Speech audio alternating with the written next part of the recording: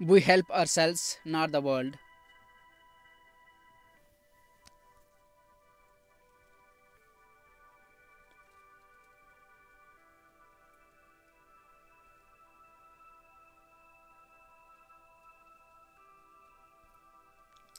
We help ourselves, not the world.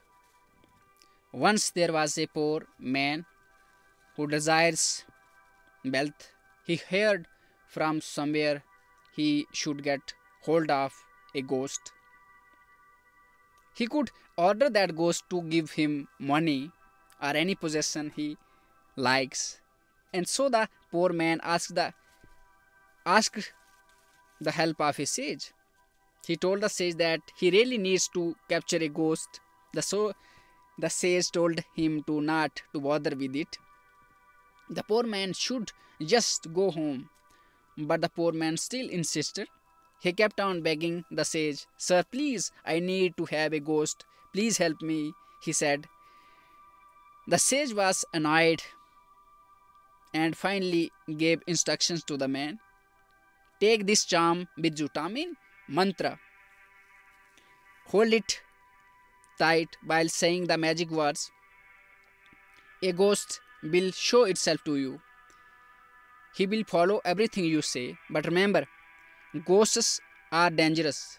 You must keep the ghost busy. You must always give him something to work on. If you fail, the ghost will take your life. The poor man said that it will be easy. He has many things to ask from the ghost. He will not fail. And so the poor man went deep into the forest. He held the charm and said the magic words. Suddenly, a huge ghost is floating in front of him. The ghost spoke, You have captured me with your magic. Now you must keep me busy, or else I will kill you. The poor man gave his order. Ghost, build, build me a palace. In just a second, the palace is there. The ghost said, It's done. The ghost showed me with money and jewelries. In just a blink of an eye, the man is surrounded with huge jewelry and gold, silver, and other gems. It's done. The ghost said, Ghost, bring this forest to the ground and build a city on top of it. In, a, in just a second, the city is right there before the man's eyes. It's done, the ghost said. Is there anything else? Now the man is scared. He cannot think of anything to ask from the ghost. Give me something to do now, or else I will kill you or eat you. The man is terrified. He ran as fast as he could. He did not stop until he found the sage. Sir, please protect me. He explained to the sage that he has no order anymore from the ghost and that it is going to kill him. The ghost arrived then and the man hid behind the sage. I will eat you, the ghost kept on saying. Finally, the sage told the man, Listen carefully. Look for a dog with a curly tail. Take your word out and take your sword out and cut the dog's tail. Give the tail to the ghost and order him to go straighten, straighten it. Give the tail to the ghost's ghost and order him to go straight it out. The man did, but the sage said. The, he gave the curly tail to the ghost and said, Strengthen it. Means straight, strengthen, make it straight. Strengthen it.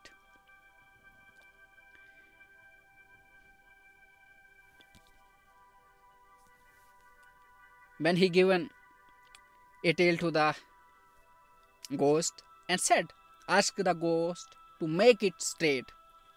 Every time that the ghost tried, that dog still kept on curling up. He cannot make it straight no matter what he does. Several days passed by and still the ghost couldn't do it. Finally, the ghost was exhausted. He said, I never had a difficult problem like this in my life. in my existence. Let me have a compromise with you. The ghost told the man, If you set me free right now, you can keep all the riches I have given you, and I promise never to harm you again. The man is pleased with the agreement. He let the ghost go. The world we live in is like the dog's curly tail. Many people, many noble men have tried to strengthen, make it reformed. It since the beginning of history.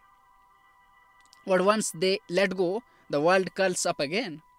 Therefore, it's better not to concern yourself with the immorality, immorality and mistakes of the world. Just let it be.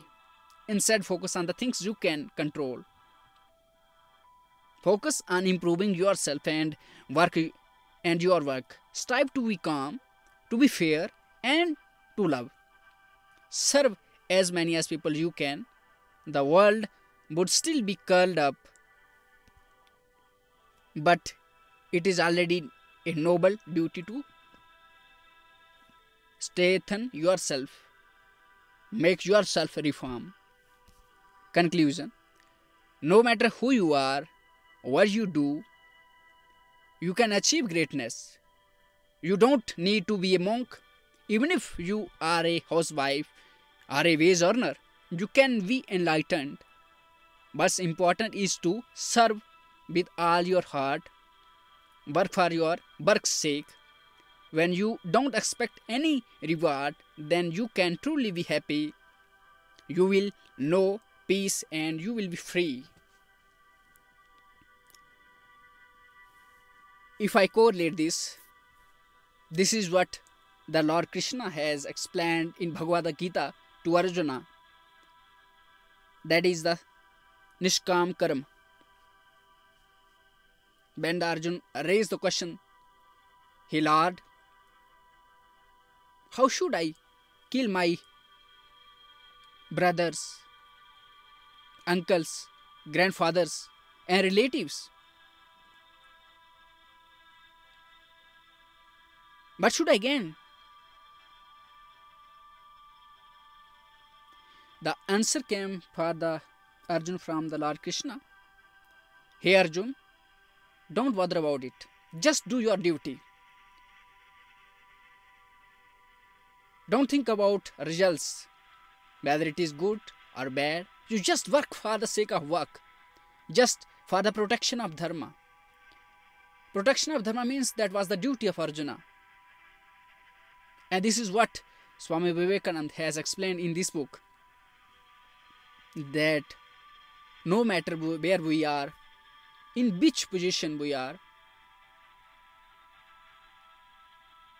whether we are teacher, doctor, housewife, householder, wage earner, anyone, we just have to do our duty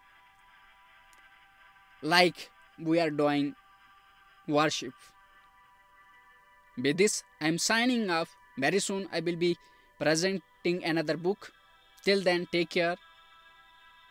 Have a nice life. Thank you. Thank you so much for listening to me. And keep growing, keep learning. Thanks.